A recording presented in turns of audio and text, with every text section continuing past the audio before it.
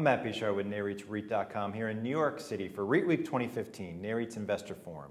Joining me for this CEO Spotlight is Stuart Tanz, President and CEO of Retail Opportunity Investments Corporation. Stuart, thanks so much for joining us. Thanks for having me. Your company is enjoying strong operating results so far in 2015. What are driving those results? Number one, the markets uh, out west and the fundamentals out west have been very strong, and that's helping us drive our operating results.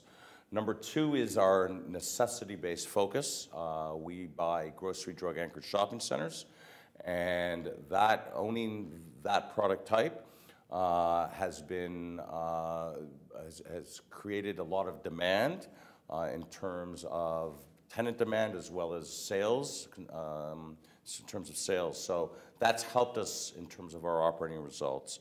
And the third, of course, is our operating platform. I mean, the, the, team at ROIC has operated on the West Coast now for close to 30 years. Uh, and we understand the markets, the tenant base, uh, and the moving pieces as it relates to building value for shareholders.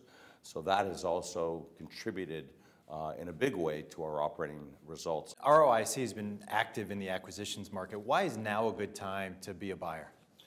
Well, we have been very active. This has been a growth story. In fact, over the last 18 months, we've acquired close to a billion dollars uh, of shopping centers. The reason why um, the West Coast continues to be a, a great, for us, a great area to keep expanding in is because the, um, the market out west uh, continues to be very strong in terms of the fundamentals. Um, the, uh, the reason why uh, the pipeline looks very strong in terms of what we're seeing out there, and there's been no supply in the market. So all of that is continuing to drive growth for us.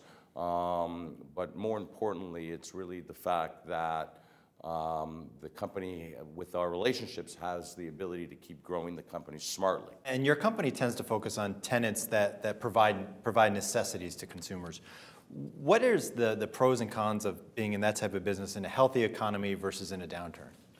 Well, historically, when you look at uh, the necessity-based retailing, it has held up the best in terms of the retail segment, good or bad times. Uh, and for us, being necessity-based retail, what we've always found is that uh, that people have to eat. Uh, they, they need these basic necessities. And so, you know, occupancy tends to hold up very well.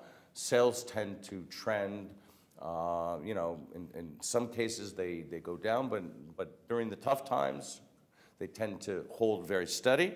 And more importantly, that in, during the good times, uh, sales tend to trend up very nicely. Uh, so all in all, it's, it's, it's a great part of uh, segment of the retail industry. More importantly, it's the most defensive part of the industry given the long-term nature of the grocery stores and the drug stores. Stuart, thank you so much for joining us. Thanks for having me. Appreciate it. For more on this and other REIT news and analysis, be sure to visit REIT.com.